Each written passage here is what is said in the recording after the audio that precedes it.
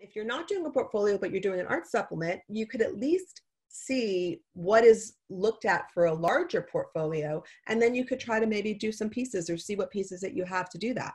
Because that's a this is a perfect opportunity to work on that stuff if you have the ability to do that in your in your home.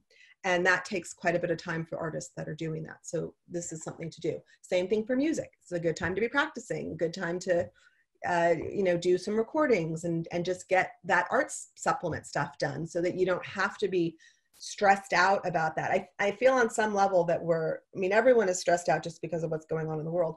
But if you can use this time productively now, which you don't, you have a little bit more time than you normally do. I know some of you are getting a lot of work from school, but in the fall, then you just won't have all this stuff to do and you'll want to not be doing this stuff. You'll want to be outside and doing other stuff as opposed to doing what you can't have to kind of do now.